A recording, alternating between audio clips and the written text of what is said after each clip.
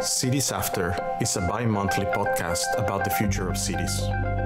Grounded in our daily urban struggles, it is part dystopian and part utopian.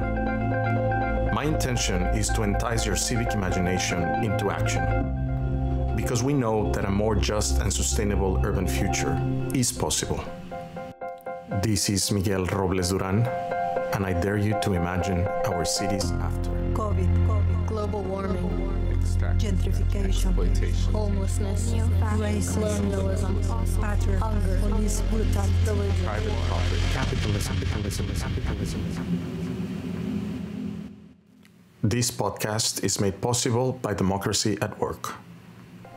In today's episode, I will discuss with my guest Laura Raicovich about the roles that the global oligarchy plays at art museums and cultural institutions, and how the commodification of cultural spaces has been a central component of neoliberal urbanization, aiding large capital flows in between global cities and the bank accounts of the elites. Laura Raicovich is a New York based writer and art curator. Her latest book, Culture Strike Art Museums in an Age of Protest, addresses Western cultural institutions' long history of representing neutrality while at the same time protecting the political interests of the oligarchs, elites, and those in power.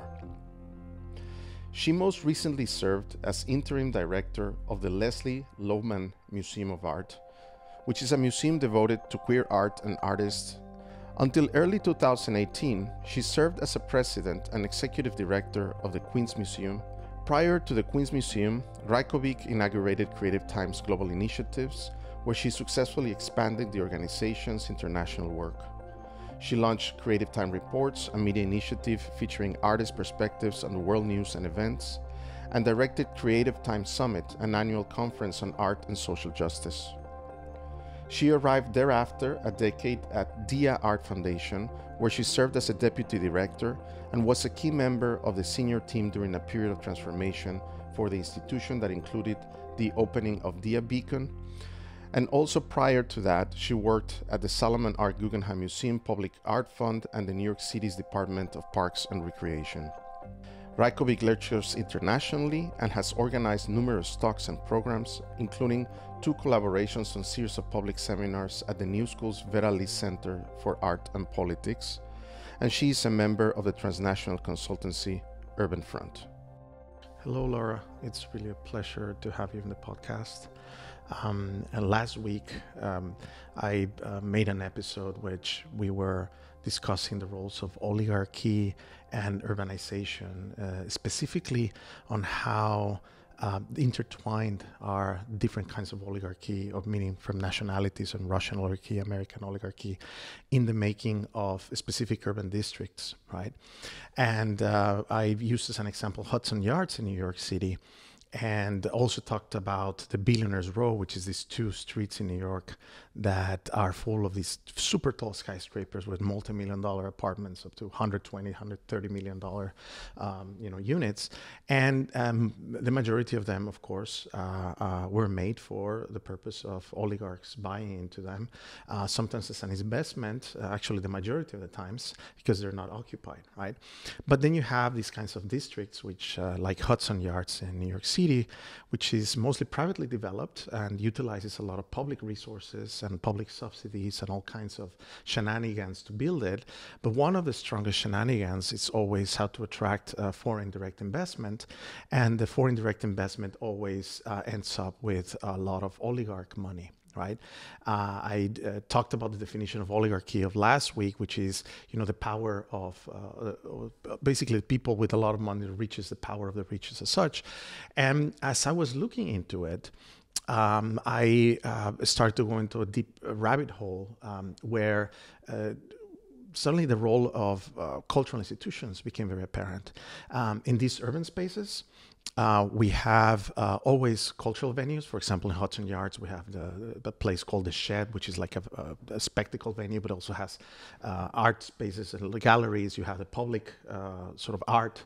Uh, we have a lot of public money used, you know, uh, to build sculptures and so on. But they have a very specific private purpose um, of making property more valuable and the very specific kinds of arts that fill the lobbies of the places, and how also new institutions are within that but also all kinds of institutions, institutions that exist, cultural institutions play a role in curating, in organizing uh, uh, these sort of events. And so I started to look at uh, the production of culture, culture in itself, as a very important player, of course, uh, within this oligarch world and how they produce, you know, urbanization and makes us think what they want to think. And um, I know that uh, you, you, recently published a, an amazing book on the art museums and, and neutrality, right, uh, with Verso. And within that book and all the history you've done as a director of the Queen's Museum uh, and, and working at DIA and so on, uh, you have dealt with, you know, very strong institutional politics in terms of how uh, I would call it dark money or money of the oligarchy uh, plays a role in it, right? So the first question that I have for you is uh, in your experience uh, as you know working in arts institutions pretty much all your life right um, how have you seen the the dominance or the uh, the growth of dark money what has been what have been the transitions that you have seen as we end up in 2020 with so much power being given by this rich population well, first of all, Miguel, thank you for having me. It's really a pleasure to talk to you always. So I'm delighted to be here. And Yes, uh, you know, I have spent the large portion of my career uh, in public institutions, uh, in non for profit organizations, um, working largely in contemporary art. Um, and that gives me a very particular perspective because, of course, in the United States, um, public institutions like the Museum of Modern Art or the Whitney Museum of American Art or the Queen's Museum or Creative Time or much smaller institutions that are the lifeblood in so many ways of the cultural sector um, in New York City and beyond, you know, they are fed uh, in the US by private funding. Yes. Um, you know, we do not have um, really um, any robust uh, public sector funding for culture in the United States. And so that I think forms the basis of the story mm-hmm. of how culture and how private interests can really impact the ways in which cultural culture is produced, the way it's presented, and how it manifests even in public spaces. Yes.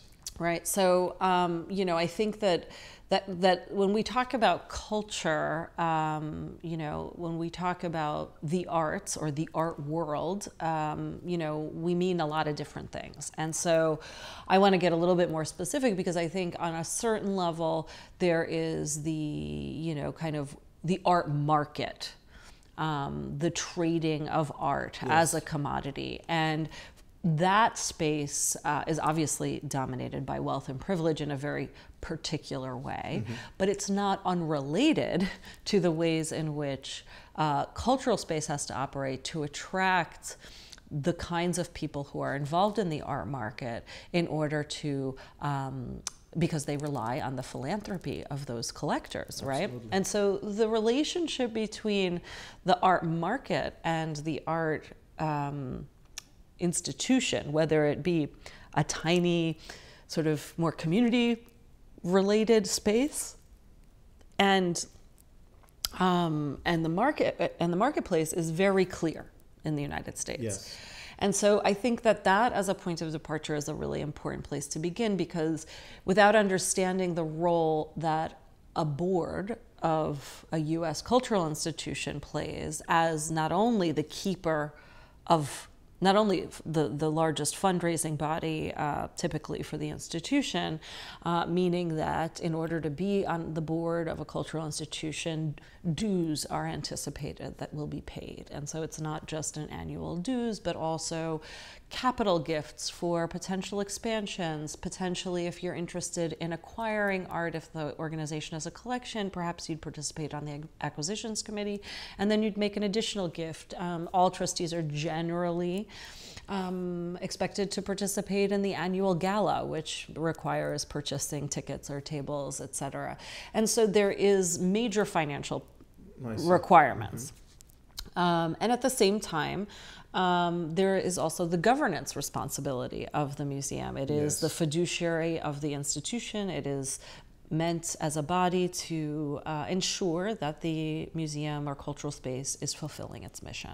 Yes, and uh, this brings to mind that. Um, perhaps, and I want you to correct me because I'm most certainly will be wrong on this one, but I wanted to get into the nuances of this, That we could argue that the contemporary American cultural institution is in itself as private or closely as private as many private museums that exist, let's say in Latin America or in Europe. Meaning that um, Latin America, in my country, in Mexico, you have uh, museums that are being taken over by people like Carlos Slim, right? I mean, there's new museums uh, which they build their own private art spaces and they're self managed. Uh, nevertheless, they get public subsidies, you know, because there's art spaces and they get land and they get all kinds of things. Similarly, as in Europe, with the uh, emergence of many, many private museums. I think Europe right now is the number one, right? And Western Europe, I'm talking specifically, uh, in which there's a private direction, right, on this. Would you say that in the American context, it's pretty much the same, or do you think there's still some level of autonomy, considering this sort of oligarch, uh, not, let's say, the, the influence of the trustees, you know, um, you have specific experiences on yeah, this. Yeah, I mean, I think yeah. it depends largely on what kind of institution you're talking about. I mean, certainly the larger museum, cultural institution is going to be dependent on the kinds of people you're talking about, um, who may or may not use their power and wealth to have outside influ- you know, oversized yes. influence over what the cultural space does. Um, because it's impossible to not acknowledge your own positionality within this whole ecosystem, right? It's like, uh, you know, one of the last things that the museum has been, you know, very, uh, very resistant to is acknowledging that these spaces are not neutral. They are not mm. bounded to some kind of form of expertise that uh, bestows excellence without any kind of bias. That is literally an impossibility, as we know. And, and in most other fields, this isn't even a question, but in the museum, it's been much harder to kind of um, to break this mythology of the neutral. And in part, that's because of the um, because of the credentialing, the enormous amount of schooling and credentialing that has gone into it. But we have to remember that in the United States, the kinds of collections that have founded the biggest cultural institutions here um, have come from largely a very specifically raced, classed, and gendered population, yes. right? And so these are largely personal tastes, right? Mm-hmm, that mm-hmm. then, you know, in the early years of these institutions were donated because maybe the kids didn't want to deal with dad's crazy collection of paintings and crap, you know. Yes. this happens. Yes. And so uh, so somebody donates it to their alma mater, to their school. And the school is like, wow, now we can have a museum because we have this incredible collection. And then generations of students study and they're like, oh, the collection of so and so is so incredible, da da da, becomes this thing that started as something that was bound up in an individual's personal taste suddenly becomes a stand in for excellence. Yes. Right? And so from the very beginning, I mean, if we're to talk about how that control of ideas happens, you're talking already about an oligarchic mindset around what is culture what is culture and yes. what is excellent within culture right yes. because yes. it's it's coming from one particular person who happens to be probably white probably a man probably very well definitely very wealthy so we're talking about people who have that kind of power already setting in motion what the institution even looks like or, or imagines as, as it's excellent and they might not have been exposed to very many things in their life culturally. Yeah, but they you know, think that's but the- yeah. well, but they just like this particular thing, and it's you know it's not bad necessarily, but it, it's not good either. You know, it's it's just it is, and I think part of the problem for me is if you don't acknowledge that that is the point of departure, that you have this incredibly narrow and biased beginning point, then you cannot possibly imagine all of the histories and stories that you are missing.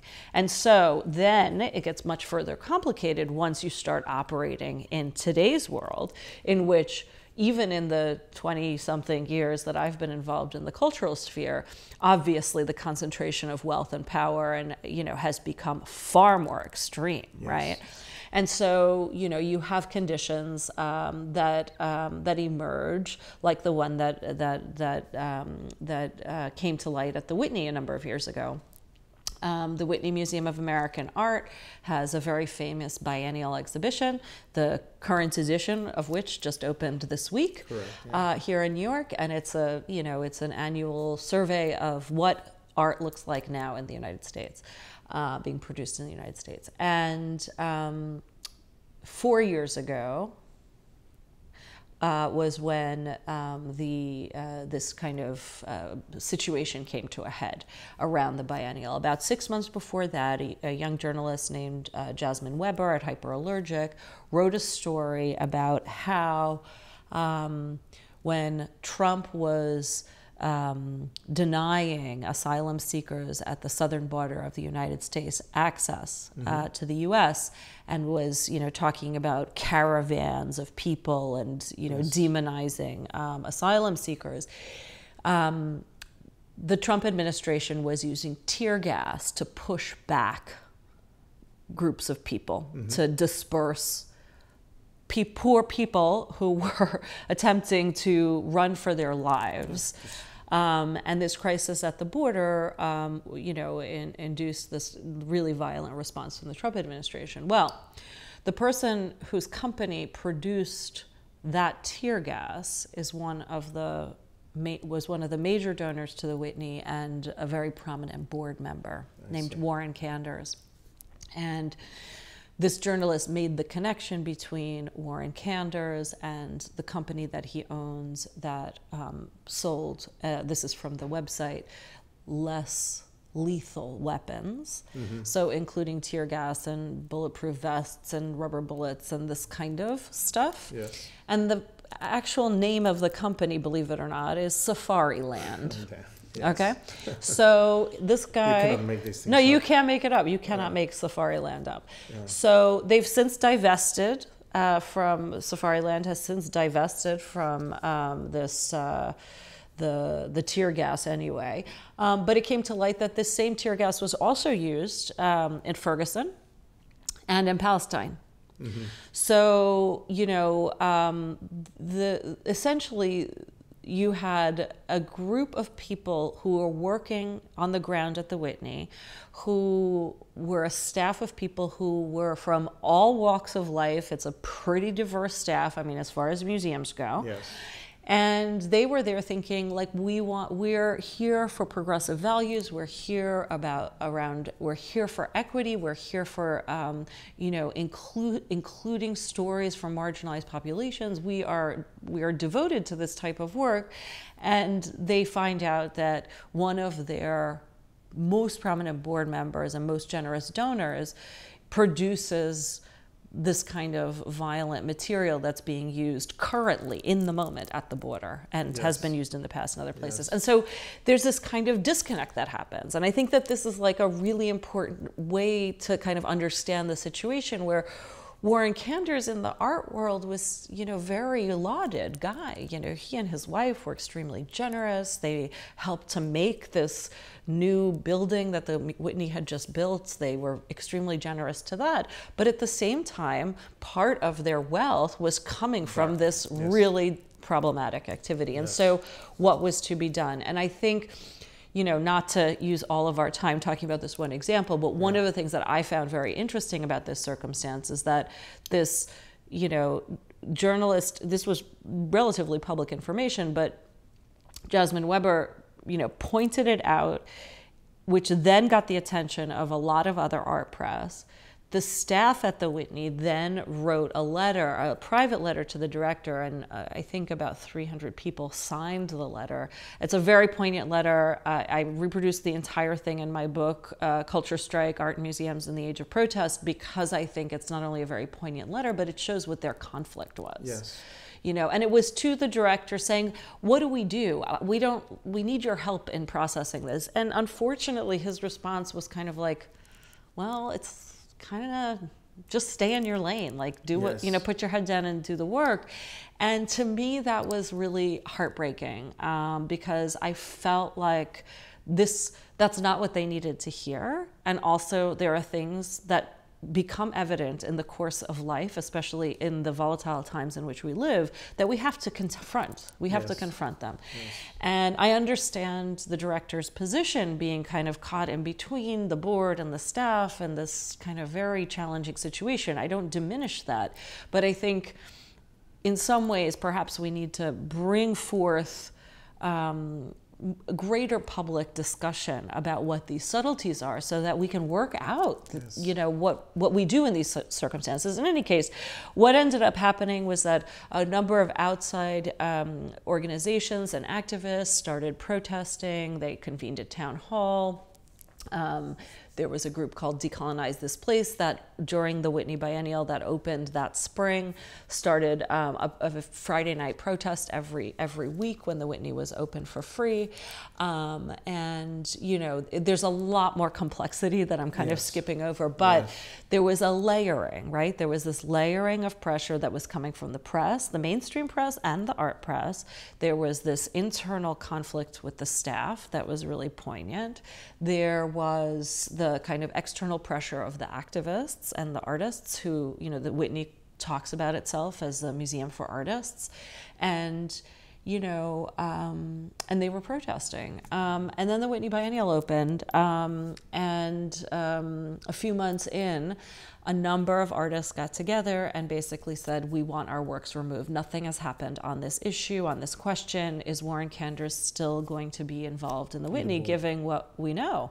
And that was kind of the straw that broke the camel's back. And to me it's interesting because you know on the left we're always talking about how none of us are coordinated and it's such a disaster and we're always you know like uh, eating our own tails.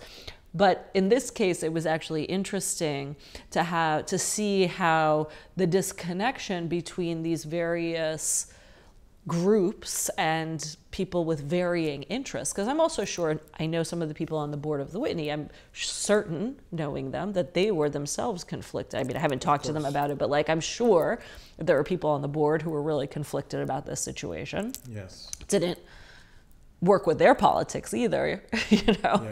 And so what is to be done? And you know, and I think a lot of the conversation at the time was about well, where does it end if you you know, kind of excommunicate Warren Kanders, you know, who's, the next baddie and where is the Yeah, it reminds me a lot of uh, the conflicts on the Sacklers. It reminds me a lot Exactly. of, you know, in the case, I mean, we can go on and on. We can by go every on and on. Even um, not only cultural institutions as, you know, per se art, but in institutions such as the one I work in, the academic institutions, uh, we have board members, uh, you know, in this country that uh, are, you know, also very uh, interweaved with the dark, with the dark Well, sides, and I think, right? you know, I mean, part of it is, you know, uh, if you're consolidating wealth to that degree, there's going to be something that you're connected to that's unsavory, you know. Um, and so in the United States, we have a very uh, one sided system there. Um, and, uh, you know, cracking that code is like the holy grail. But tell me something, Laura. I mean, like you have, you spend quite a few years in a public art institution, you know, which is a Queen's Museum, and there's some stories, you know, how things went.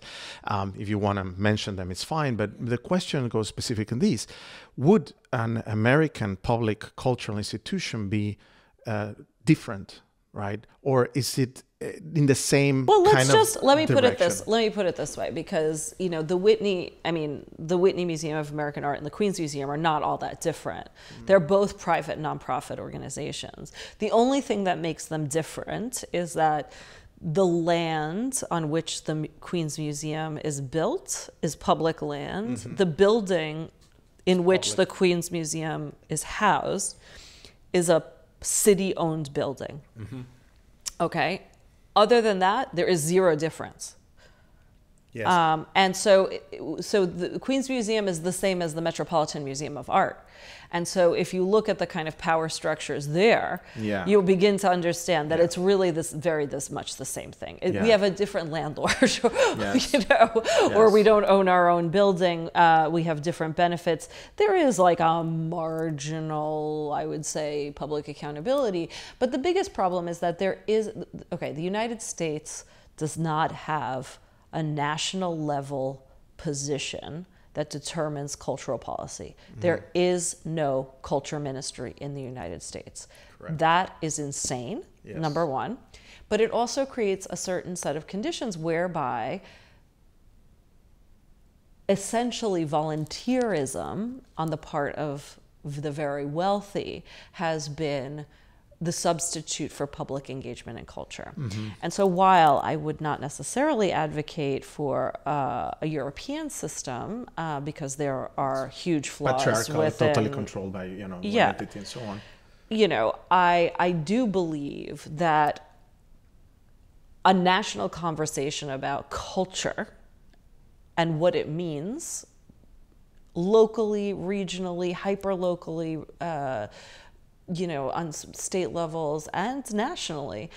What does that mean? I mean, I think it's Yes. it's a very it's a potentially very contentious topic, but the National Endowment for the Arts, which gives away paltry amounts of money, you know, we're talking about, I mean, just so you understand the, the, level of funding available on the federal level, the National Endowment for the Arts, if you work at a place like the Queen's Museum, as I did, where the budget was about six and a half million dollars a year, we might get a $25,000 grant. Damn. This is not moving the needle. Wow. Okay. Um, there are other federal agencies like the IMLS, which is the Institute of Museum and Library Services, where you can get you know grants for conservation if you have a collection and other things that are more technical Yes. in nature. Um, and there there are bigger pots of money, but again, we're not talking we're talking about like 300,000, 200,000, 250,000.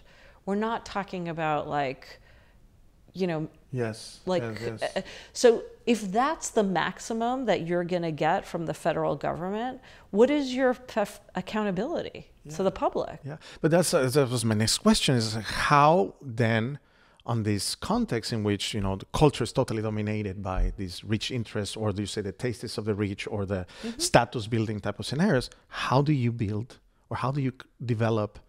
Public art a culture a true public art because when when i was talking about the hudson yards i mean there's a sculpture right in the middle Oh, right, please don't get me started on the vessel. yeah, the vessel, or we I call it the shawarma. You know, there's some other people call it whatever it is. But you can see exactly how the oligarchy looks at culture, at, at art, Yeah. right, and the types of money that go into it, which is public in this case. That level of public discourse um, is not really public, that's correct right, and it is completely tainted and decided upon by these oligarchs that build these urban spaces. How do you get a, a, a vibe? How did you attempt to do this, which you did very successfully at the Queen's Museum until you know you went against the oligarchy, basically, right? Um, how do you do that, Laura? well i think uh, it's a i'm going to give you a complex answer to a complex question um, but I, I think you know one of one of the things that has to happen is there has to be a national conversation about what culture means in the United States. There has to be the establishment of some kind of national culture ministry. Um, cultural policy has to become part of what the United States does. And that may not happen tomorrow. It's definitely not going to happen tomorrow. Um, but it also happens more easily, perhaps, on city and state levels. So, for example, Yes. you know, the cultural conversation in New York City is very complicated. And, you know, whether you're on city owned land and whether you're on private land, these are very nuanced um, conversations around getting funding from the city of New York. Um, but the city of New York gives out much larger Than amounts of money than the NEA Yes, does. So, you know, I, I mean, I find that interesting. Yeah. Um, and the state as well. So I actually think it needs to be kind of a bottom up approach of kind of rethinking about how we engage hyper locally with what, say, the people of New York City want from culture. And to that end, I actually did a program called the Art and Society Census at uh, with the in partnership with the Brooklyn Library, the Brook, Yes. Brooklyn Public Yeah. Library. I remember being in one of those conversations. Yes, and we, you know, what we tried to do was, and you know, of course, uh, we were planning it for the spring of uh, 2020 uh, to have these live workshops where people could participate over eight eight week sessions of really delving into what what do we want? You know, like can we express some of the things we desire from culture, um, and then try to understand what what what's possible. You know, because I think that um, that you know there's sort of this foregone conclusion that um, cultural institutions in the United States are educational institutions, which is not a bad thing. But what ends up happening is that they often are just broadcasting knowledges Yes. uh, just you know whatever sort of they think is important in that moment which is totally valid and interesting to some of us but perhaps not to others which is also why it's important to have a vast diversity of the types of cultural institutions that are out there and not just the ones that the oligarchy wants to fund right and so you know um, for example you know when I, I always try to bring some nuance to the types of organizations that are out there. So for example my two favorite examples are the laundromat project and recess that are both brooklyn based organizations that bring that are relatively small, certainly much smaller than the Whitney, and they don't have those kinds of endowments, but they're doing really radical work in trying to reconfigure um, the way that nonprofit organizations function through the lens of equity, through the lens of care, through the lens of trying to break down the models that have become so broken. And so as a couple of examples. The Laundromat Project did something really interesting with respect to boards. They had an open call for board membership.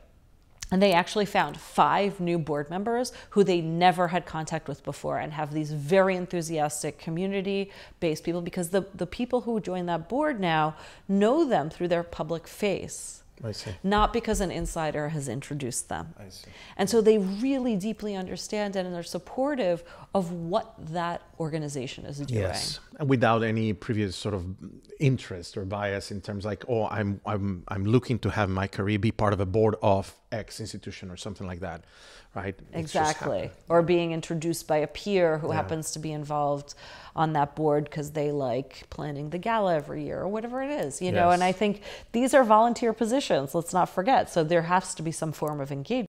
And they're not asked to pay for the gala or the, you know, on the, No, I yeah. mean, you know, and uh, these are volunteer, you know, people volunteer to be fiduciaries, but there are expectations, uh, financial ones. And so then there are also these kind of sub rosa, you know, um, return expectations, let's just say, Mm-hmm. you know. And I think, um, I think one of the other things that has to happen is that um, we need to be really explicit with board members, between board members and institutions, just like any employee in a museum has a job description or should.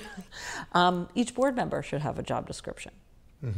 You know, to make clear what the expectations are of that person's role, even though they're a volunteer, Yes. and what what they're expected to contribute and in what ways, and not just not just the financial piece because that's only one piece of the puzzle. Yes, and in the in the United States, um, I mean, it is commonly discussed the the idea of a nonprofit organization. You know, in this case, specific case, we're talking about the arts. You know, as one of the reasons why we cannot have a true, you know, public uh, says because in the in the structure of the nonprofit, it's specifically targeting you know tax reliefs and so forth from different Yeah. foundations. I mean, it's used in a very specific way.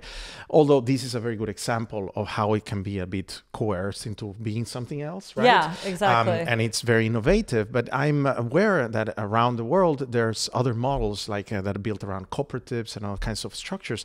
I wonder if you have had any experience with uh, your you know hands around the world with any other form of governance models that institute a different kind of of art space or a different kind of cultural space. Well, I think you ask a really important question because the nonprofit is a broken relic, uh, frankly. And I think that part of what we're trying to do, many of us in the United States, is reverse engineer something that is more fruitful. Um, so that's difficult, as we all know, trying to work Yeah. within these models. My question is always do you throw the baby you know do you throw the baby out with the bathwater or do you take these structures that have existed and while Try they to use them. yeah, and make them and you Yeah. Reuse them and and my conclusion always comes back to like why not just reuse the resources that are there so and yes i you know i do think i do think that um, i think that the way that the board is conceived as an entity can be reimagined so for example you know, when I was the director of the Queens Museum, if I had a museum issue come up, like unless it was like a legal question or, well, even if it was a legal question, I would most often first call a colleague who had more experience than I did. Mm-hmm. So, you know, if I had a question, you know, I don't know, you name it, I might call Thelma Golden. Uh, who's the director of the Studio Museum in Harlem and has been there for a long time and is was the you know has been a super leader in terms of museum directorship, and you know and so if I was coming across it no doubt at some point in her career she would have come across it. So I would call her. And I think part of the kind of mythology around the way that boards are structured now is that you might call a board member to have help with that kind of a circumstance. And so my proposal would be to kind of de-financialize the board mm-hmm. have you know I, and i don't know if this can work but to me there's a great utility in kind of making the board a board that's comprised of people who can actually be supportive in other ways to maybe not the operations of the museum because i think you have professional staffs that do that mm-hmm. but perhaps are the fiduciaries. They're the people who make sure that you're sticking to your mission and and do that governance work. Yes. Right? But Laura, we've been talking a lot about um, so far in the podcast and issues on fiduciary responsibility and governance structures, directionships, uh, directors of the of the museum, the institution, and the roles they play. But what about the role that the artist in itself has to play within these governance structures? Right. Um, we've been. Um, I, I, normally what it is is that the, the curator at least in my mind you can correct me with this is buffering um, the the wants needs and desires of these oligarchs in order to see what or to have a say in what art is and what artists should be there and you have the directors and the curators trying to buffer right Yeah. that space um, for the artists themselves and so therefore you can have a specific kind of art that it's theoretically neutral but i'm sure you have a lot to say about this Well, yes, and you know maybe we go back to the Whitney and Warren Kanders to talk about one particular example from that uh, Whitney biennial. Um, all of this controversy was swirling around um, a- around this board member, and one of the artworks produced for the biennial was by um, a, a collective group called uh, Forensic Architecture, um, who do very research-based artistic projects, um, as well as Laura Poitras, the filmmaker. And they created a film um, and a huge research endeavor that essentially looked at and traced the relationships between Warren Kanders, Safariland, and all of the different uh, canisters of tear gas that were found in various conflict sites all over the world, particularly with the Trump administration, which was extremely damaging, obvious for obvious reasons. So, you know, in a way, it's remarkable that the very institution that was under fire was also showing a work that was so explicit about its critique Yes, of yes. Kanders. Um, and you know, uh, on a certain level, I think you know, uh, you know, of course, the cura- curators and um, and museum directors are defending their artists by saying to uh, somebody who might not like the content of a work, well, look, obviously, the museum is neutral in this situation. But we have to support artists and their freedom of expression. Yes. And so, you know, as one of the highest ideals um, of the United States, freedom of speech and freedom of expression have become kind of these safe spaces for artists to work that can be defended by um, by curators and and museum directors. But do I think this is a robust way of working? No, because obviously it's not true. Because if you have a choice of where you're going to, you know, deploy resources, whether it's human, financial, or otherwise, you're obviously choosing to support a project. Yes. like this Laura Poitras' uh, forensic architecture work. So, you know, it, it has its pros and cons. And, you know, I'm a great believer in like multi layered and multi angled approaches. Um, that to to you know contending and confronting a, a injustice so that you have people working from the inside and from the outside and from everywhere in between because oftentimes that's the only way it actually works Yes. even if it's uncoordinated, even if some people are, you know, damaging one another's activities, oftentimes it is that kind of multi-layered, kind of rhizomatic approach that Yes. actually creates the change. Yes, and and it also comes to question whether that would be, uh, I mean, displaying such uh, counter arguments within the institution or for the institution, um, as how effe- eff- effective, right? Uh, they would continue to be. That's I mean, right. that's. I mean, one thing that I could think of, but I'm sure you can think of many other ways, is that um, the more of these displays or artistic displays come by, um, it, we've been knowing them since the 1980s, and there's a famous American artist Hans Haacke that was banned by the Guggenheim because of uh, relating some of the board, one board member to the Nazis, you know, and so Yeah. forth. Um, and he got suspended, and that was a big scandal in the 80s. But the more and more we see uh, uh, art pieces being produced to critique the institution, I think the less uh, the less impactful they are. But there are many other ways, as as uh, we can save in the concentration of wealth and these types of things. Yeah, and I think, you know, one of the things that's changed since Hans Haacke produced his work in, what was that, the late 80s, early 90s? Early, early, uh, yeah, 80s. early- Late it- it- 80s? I think it was mid 80s, 80s? but doesn't Okay. matter. Somewhere in around any there. case in So that time range it was a long time ago Yeah. um, and the concentrations of wealth and power have become that much more extreme and i think like in this distillation of time and space and wealth and power what we have is the need to counteract that uh, with a far more diversified cultural sphere. Uh, the only way that I know how to counteract that is by broadening the kinds of perspectives that come in to cultural space um, and you know cultural production you know the the definitions of what is art have been expanding for many generations now and so i think you know we're up for another revolution Yes, and in, in, in this line, I think we're reaching to the to the last part of, uh, of our podcast. I mean, there's so many things that we could have addressed. I mean, I, I didn't touch at all the issue of the market, you know, within it, you know, the highly capitalist, you know, spaces that dominate uh, the, the market of the arts and so forth. But uh, focused a little bit more on the issues of governance and the role of the artists. I know that you've been working a lot with uh, what I think are incredible artists, and then uh, we have a friendship with a few of them, and um, that they've been um, producing a kind of art that is very difficult to deal by with institutions simply because they're not meant for this display. They're doing community engaged type of art Yes. that is very deep, right? And it's very long lasting, you know, uh, years of engagements and so forth, and a different projection of culture um, that uh, we're not used to see. That together with the revolution that you say that should exist within cultural institutions. What is your utopia? How do you imagine the future of a cultural institution as they uh, represent a very important part of urban space? Yeah.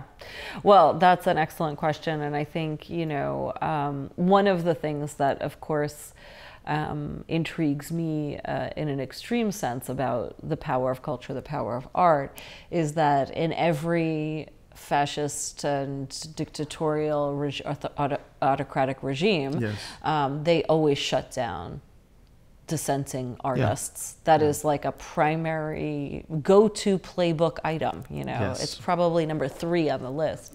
And so, why does that happen? Well, because artists. And my definition of great art is that you know, uh, art, great art, actually changes the way that I think about things, the way that I see the my world. definition too. Yeah. And so, you know, if uh, as we live in this crumbling worlds of uh, late capitalist neoliberalism, um, you know, that's heading ever towards greater autocracies um, in governance, you know, to me, um, art is a place for the expansion of the imagination rather than its contraction. And capitalism has been at work for a very long time to narrow our imaginations, to limit what we can imagine happening, what we can, what potential we can see. Yes. And, and there's no alternative. That's what we're told. there Yes. is no alternative. Yes. Exactly. Or they try to convince try us to that there is. convince us. There's no alternative. But in point of fact, there are endless options. There are endless potentialities. possibilities. And so, you know, and I think this is where art becomes an incredibly powerful motivating voice, especially when you're talking about artists like our friend Jeanne van Heeswijk, who's Dutch and who has an incredible practice about practicing together for the not yet, for the future that we want, but enacting it today so that it is possible to live it now rather than waiting for some unattainable uncertain utopia that's in the future. And so, you know, I think, you know, she, uh, there, there are many different types of practice. Hers is like highly community based, yes. highly interactive, oftentimes stretches over very long periods of time, but also artists like Simone Leigh, who's representing the United States as the first black woman ever to represent the United States at the Venice Biennale, um, which opens in a couple of weeks. And, you know, I think her positioning specifically of the black woman as the center of her practice and really producing work for black women. Um, and then she's very explicit about who, how that, why that is her audience. That is also transformative. And yeah. so, you know, I think um, there's this incredibly expansive potential space for how um, how culture can um, intervene in these logics that we're laboring under transcontinentally not you know that that that that that can open up our imaginations. Even if we live in very vastly different material conditions we can understand something about um, you know, what those possibilities might be. Thank you very much, Laura. Thank you, it was Miguel. an absolute pleasure. Always. And I hope we get to talk more and more about these topics and others. Undoubtedly, we will. Thank you. This was another episode of Cities After. Thank you for listening and don't forget to subscribe.